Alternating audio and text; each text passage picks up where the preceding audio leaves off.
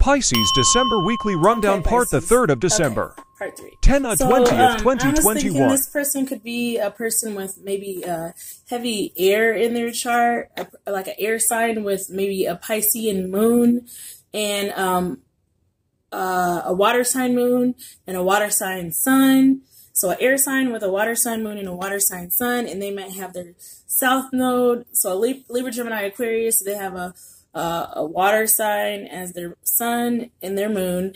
And if anybody's into astrology, and they also have um, their south node is also in the south node is when you're living you're not living your your life really correctly and their south node may be in scorpio or aries um, so they may have been in the army at one time. They may have ptsd and they may have been you know dishonorably discharged and they may still have an army mindset.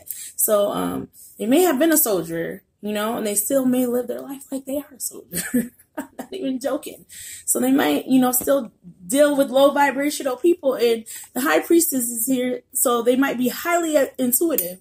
Um, high priestess is Cancerian energy, and it says success, protection from magistrates. So they might be dealing with a water sign, Cancer, Pisces, Scorpio, um, or somebody with that in their chart, and, and and they might have been dealing with a high vibrational Cancerian that you know that may have worked in you know the banking or stock trade or something industry. And 44 may be significant. Might be seeing fours here.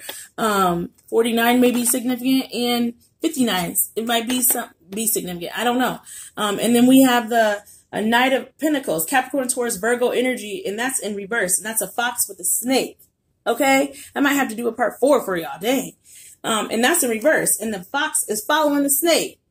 So might, they might have been dealing, dealing with a fire sign, a Leo, Aries, Sagittarius, um, like I said, and they might have been dealing with a water sign as well.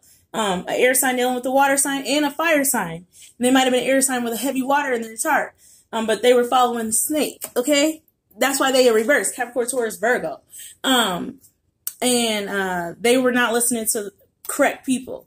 And so they in reverse, Knight of Pentacles in reverse. Uh, so they lost some money um, dealing with following the snake. And so um, they weren't really listening to correct guidance. And so they got in trouble. So I'm thinking it's someone that's living in their south node. And they went following an air sign with, like I said, a water sign moon, water sign sun, living in their south node. And they have a, a water sign moon and sun. And they have scorpio south node. Scorpio or aries south node. That's what i'm thinking. So um i'll do a part four i guess for you pisces. Please like share subscribe heart this video. Let me know if it resonates. I'm out